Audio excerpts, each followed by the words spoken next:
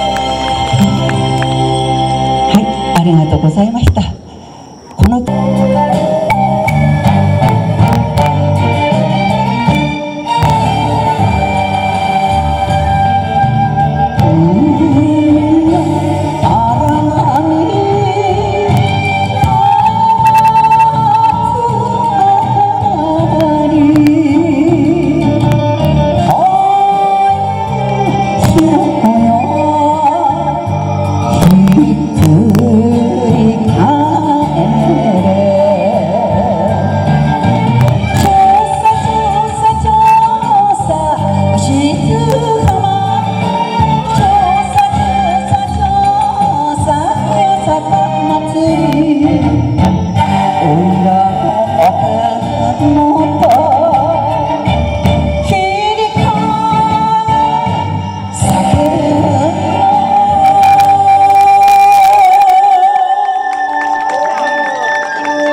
能登ではみこしのともに巨大な古人塔が何十台も担ぎ出されますそれをきっこと言いますみこしが2層出まして1層は海の中川の中火の中と入れて壊せば壊すほど御利益があるそうです。